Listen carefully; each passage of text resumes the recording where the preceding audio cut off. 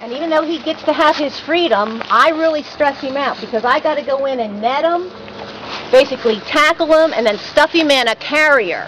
That is really stressful, even if you're a bald eagle. Very, very, very stressful. Then he's got to travel 40 minutes into a car, and then he's going to be exposed to people. And that's why we want you behind the carrier, because when I open the carrier, oh, and, and I will not be grabbing him and throwing him up in the air Hollywood style and saying, be free. That is stressful. The things that I had to do to him is stressful. So even though we'll swing the cage door, the carrier door open, his eyes and his brain is going to be going 1,000 miles a minute.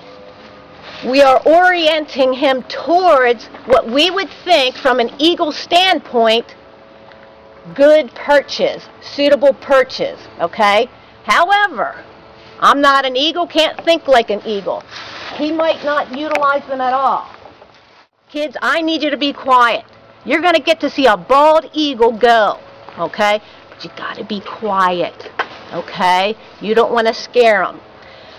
This bird, as Greg said, was hit by a tractor trailer and has lived to tell about it.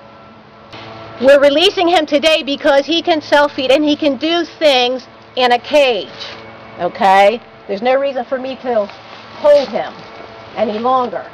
And the concern is re-injuring himself in a cage. So he can fly in a cage. So we're assuming that he is ready to go.